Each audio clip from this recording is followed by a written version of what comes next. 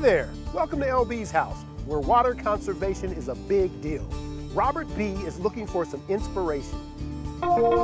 Dear LB, I want to turn my grass lawn into a drought-tolerant landscape, but don't know the first thing about plant selection.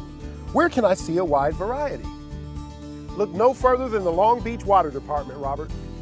The main building has a beautiful demonstration garden for anyone to come and check out. There are more than 30 different water-wise plant species on display, all clearly labeled with their own common names. Just head on over to 1800 East Wardlow Road and you'll get plenty of ideas for decorative rock, mulch, and plants to add to your landscape. Free and easy, Robert. That's how we do it at LB's house. Got a question? Send it to LB's house at longbeach.gov and stop by lblawntogarden.com where you'll find more plant options and rebates provided by the Water Department. See you around.